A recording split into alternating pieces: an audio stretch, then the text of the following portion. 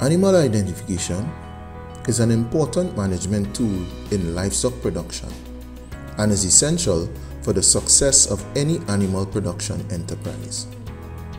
While there are many types of animal identification methods, in this presentation we'll be looking at the process of horn branding water buffalo.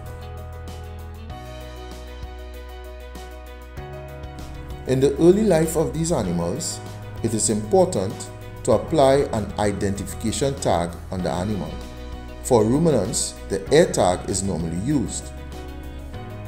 Whilst ear tagging is normally used in large ruminants, at the calf stage, these ear tags can be easily removed, lost or destroyed at the adult stage.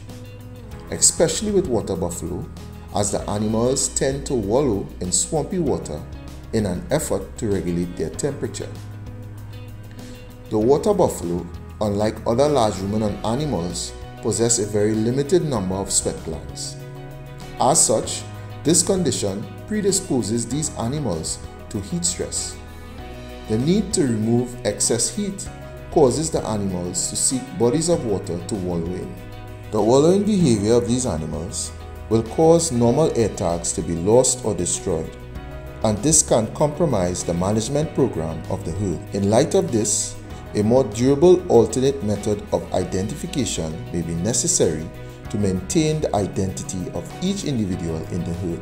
In the early stages of development, from day old to 3 years, the horns of the water buffalo will not be developed enough to allow for this procedure.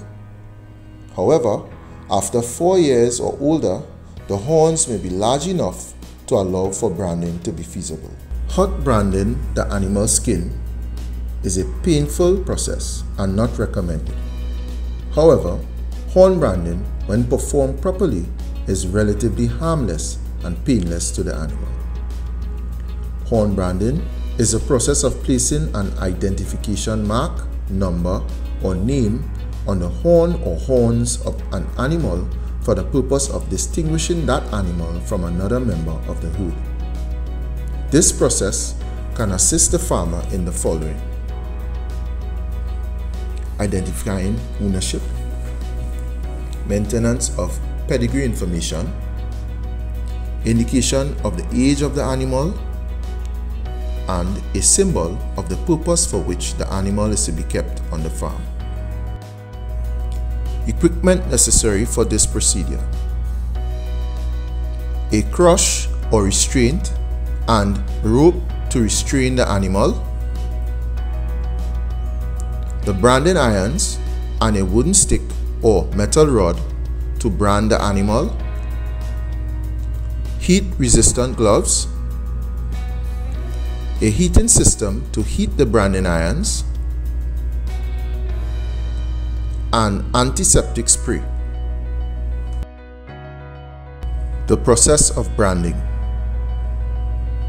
The farmer must first determine what identifying system he or she would like to use, be it symbol, numbers, or letters, or a combination of these.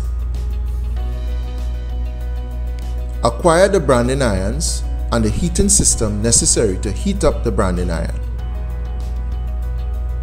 Establish a system to restrain the animal to ensure that the branding process can be safely performed for the protection of the farmer and the animal being branded. Start the heating system and place the branding irons to be heated up. This should take 25 to 30 minutes before the brands are ready for use. Restrain the animal and ensure the body and head are immobilized. With the animal restrained, pay careful attention to the position of the brand number or letter, ensuring it is in the right direction before applying the brand. Apply the brand on the broadest side of the horn and also on the area of the horn that can be clearly seen when facing the animal.